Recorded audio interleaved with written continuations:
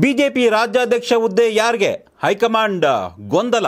C T Ravi ದೆಹಲಿಗೆ ಹೋಗಿದ್ರು. ಸೋಮಣ್ಣ ಹೆಸರು ಹೇಳಿದ್ದೇಕೆ? ಬಿಜೆಪಿ ಸಾರಥಿಗಾಗಿ ಪೈಪೋಟಿ. ಯಾರಿಗೆ ಸಿಗಲಿದೆ? ಹೊಣೆಗಾರಿಕೆ. ನಾವು ಸಾಕಷ್ಟು ಬಾರಿ ಚರ್ಚೆ ಆಗ್ತಾನೆ ಇದೆ. ವಿಶೇಷವಾಗಿ ಕಳೆದ ಮೂರ್ನಾಲ್ಕು ದಿನಗಳಿಂದ ಈ ಒಂದು ವಿಚಾರವಾಗಿ ಸಾಕಷ್ಟು ಮುನ್ನೆಲೆಗೆ ಬರ್ತಾ ಇದೆ.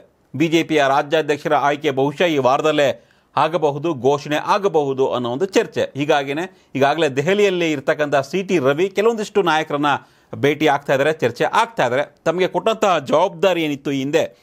ಬಿ ಜೆ ಪಿಯ ರಾಷ್ಟ್ರೀಯ ಪ್ರಧಾನ ಕಾರ್ಯದರ್ಶಿ ಹುದ್ದೆಯನ್ನು ಅವರನ್ನು ರಿಲೀವ್ ಮಾಡಲಾಗಿದೆ. ಹೀಗಾಗಿ ಬೇರೆ ನಾಯಕರಿಗೆ ಆ ಒಂದು ಚಾರ್ಜನ್ನು, ಇನ್ಚಾರ್ಜನ್ನು ಹಸ್ತಾಂತರ ಮಾಡಿ ಕೆಲವೊಂದಿಷ್ಟು ಸ್ನೇಹಿತರನ್ನು, ಕೆಲವೊಂದಿಷ್ಟು ಬಿ ಜೆ ಪಿಯ ನಾಯಕರನ್ನು ಭೇಟಿಯಾಗಿ ಮೂರ್ನಾಲ್ಕು ದಿನ ದೆಹಲಿಯಲ್ಲಿ ಇದ್ದು ಬರ್ತೇನೆ ಅನ್ನೋ ಒಂದು ಹೇಳಿಕೆಯನ್ನು ಅವರು ಬೆಂಗಳೂರಿನಲ್ಲಿ ಕೊಟ್ಟಿದ್ದರು ದೆಹಲಿಗೆ ಹೋಗುವ ಮುನ್ನ.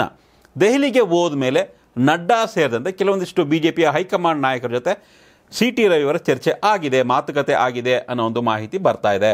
ಓಕೆ, ಒಕ್ಕಲಿಗ ಸಮುದಾಯದ ಸಿ ಟಿ ರವಿಯವರನ್ನು ಬಿ ಜೆ ಪಿಯ ರಾಜ್ಯಾಧ್ಯಕ್ಷರನ್ನಾಗಿ ಮಾಡಿದ್ರೆ ಪಕ್ಷಕ್ಕೆ ಲಾಭ ಆಗುತ್ತಾ ಅನ್ನೋದು ಈಗ ಸದ್ಯ ಬಿ ಜೆ ಪಿ ನಾಯಕರಲ್ಲಿ ಆಗ್ತಿರ್ತಕ್ಕಂಥ ಚರ್ಚೆ.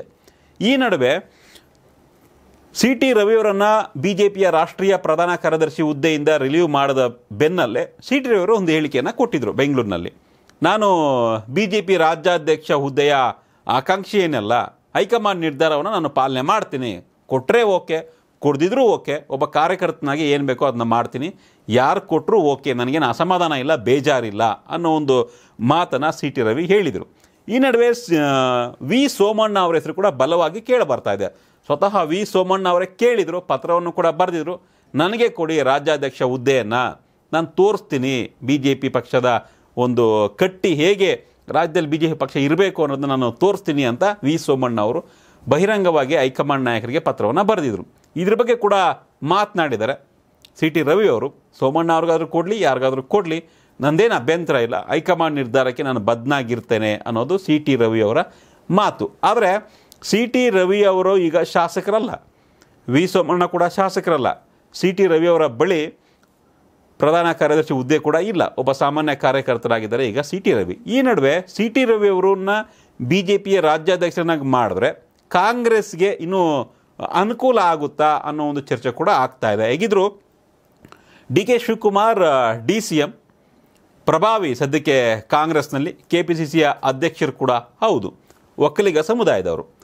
ಕರ್ನಾಟಕ ರಾಜಕಾರಣದಲ್ಲಿ ಒಕ್ಕಲಿಗ ಲೀಡರ್ ಯಾರಪ್ಪ ಅಂದರೆ ಮೊದಲು ಕಾಣಿಸೋದು ಅದು ದೇವೇಗೌಡರು. ಅದಾದಮೇಲೆ ಕುಮಾರಸ್ವಾಮಿ ಅವರು ಕಾಣ್ತಾ ಇದ್ರು. ಆದರೆ ಈ ಬಾರಿಯ ಚುನಾವಣೆಯಲ್ಲಿ ಡಿ ಕೆ ಶಿವಕುಮಾರ್ ಆ ಒಂದು ನಾಯಕತ್ವ ಗುಣವನ್ನು ಬೆಳೆಸ್ಕೊಂಡು ಒಕ್ಕಲಿಗ ಲೀಡರ್ ಆಗಿ ಹೊರ ಹೊಮ್ತಾ ಇದ್ದಾರೆ, ಹೊರ ಹೊಮ್ತಾ ಇದ್ದಾರೆ. ಸಿ ಟಿ ರವಿಯವರನ್ನು ಬಿ ಜೆ ಪಿಯ ನಾಯಕರನ್ನಾಗಿ ಮಾಡಿದ್ರೆ, ಅಂದರೆ ರಾಜ್ಯಾಧ್ಯಕ್ಷರನ್ನಾಗಿ ಮಾಡಿದ್ರೆ ಒಕ್ಕಲಿಗ ಸಮುದಾಯದ ಮತಗಳು ಬಿ ಜೆ ಪಿಗೆ ಲಾಭ ಆಗುತ್ತೋ ಇಲ್ವಾ ಅನ್ನೋದು ಪ್ರಶ್ನೆ. ಕಾಂಗ್ರೆಸ್ಸಿಗೆ ಈಗಾಗಲೇ ಈ ಬಗ್ಗೆ ಟ್ವೀಟ್ ಮಾಡಿ ಟಾಂಗನ್ನು ಕೊಡ್ತಾ ಇದ್ದಾರೆ. ಚಿಕ್ಕಮಗಳೂರು ಜಿಲ್ಲೆಯಲ್ಲಿ ಒಂದೇ ಒಂದು ಬಿ ಜೆ ಪಿ ಸ್ಥಾನವನ್ನು ಗೆಲ್ಲಿಸೋದಕ್ಕೆ ಆಗಲಿಲ್ಲ ಸಿ ಟಿ ಕೈಯಲ್ಲಿ. ಅವರು ಕೂಡ ಸೋತರು. ಇಂಥವ್ರಿಗೆ ಬಿ ಜೆ ಪಿಯ ಅಧ್ಯಕ್ಷ ಹುದ್ದೆಯನ್ನು ಕೊಡ್ತಾ ಇರೋದು ನಮಗೂ ಕೂಡ ತುಂಬ ಒಳ್ಳೆಯದೇ ಅಂತ ಕಾಲನ್ನು ಎಳೆದವ್ರೆ. ಹಾಗಿದ್ದರೆ ಬಿ ಜೆ ಪಿಯವರ ನಿರ್ಧಾರ ಏನಾಗಿರುತ್ತೆ? ಬಿ ಜೆ ಪಿಗೆ ಒಬ್ಬ ಸಮರ್ಥ ನಾಯಕತ್ವ ಬೇಕು. ಸದ್ಯಕ್ಕೆ ಬಿ ಜೆ ಪಿ ಸೋ ಸುಣ್ಣ ಆಗಿದೆ ಕರ್ನಾಟಕದಲ್ಲಿ. ಅದನ್ನು ಮತ್ತೆ ಕಟ್ಟಿ ಕಾರ್ಯಕರ್ತರಲ್ಲಿ ಉತ್ಸಾಹ ತುಂಬುವಂಥ ಫೈರ್ ಬ್ರ್ಯಾಂಡ್ ನಾಯಕ ಬೇಕು.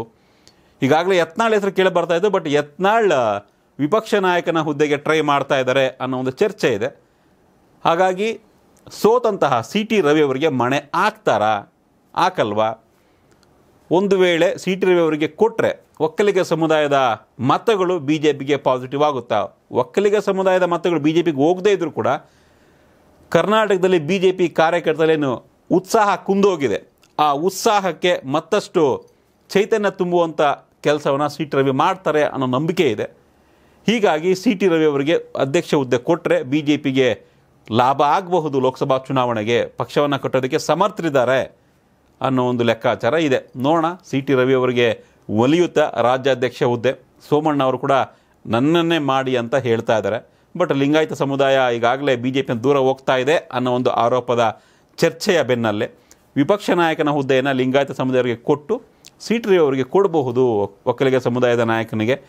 ರಾಜ್ಯಾಧ್ಯಕ್ಷ ಹುದ್ದೆ ಒಂದು ಸಮುದಾಯವನ್ನು ದೃಷ್ಟಿಯಲ್ಲಿ ಇಟ್ಕೊಳ್ಳದೆ ಬಸ್ ಸಿ ಟಿ ರವಿ ಅನ್ನೋ ಕಾರಣಕ್ಕಾಗಿ ಅವರ ಒಂದು ಸಾಮರ್ಥ್ಯವನ್ನು ಪರಿಗಣಿಸಿ ಈ ಒಂದು ಹುದ್ದೆಯನ್ನು ಕೊಡ್ತಾರೆ ಅನ್ನೋದು ಕೂಡ ಚರ್ಚೆ ಆಗ್ತಾ ಇದೆ. ಬಿ ಎಲ್ ಸಂತೋಷ್ ಈ ವಿಚಾರದಲ್ಲಿ ಸಿ ಟಿ ರವಿ ಪರ ಅವರ ಬೆನ್ನಿಗಿದ್ದಾರೆ ಅನ್ನೋ ಒಂದು ಲೆಕ್ಕಾಚಾರ. ನೋಡೋಣ. ಯಾರಾಗ್ತಾರೆ? ಬಿ ಜೆ ಪಿಯ ರಾಜ್ಯಾಧ್ಯಕ್ಷ ನಿಮ್ಮ ಪ್ರಕಾರ ಯಾರಾಗಬೇಕು? ಕಮೆಂಟ್ ಮಾಡಿ ತಿಳಿಸಿ. ಧನ್ಯವಾದಗಳು. ಕರ್ನಾಟಕ ಟಿ ವಿ ಇದು ಕನ್ನಡಿಗರ ಧ್ವನಿ.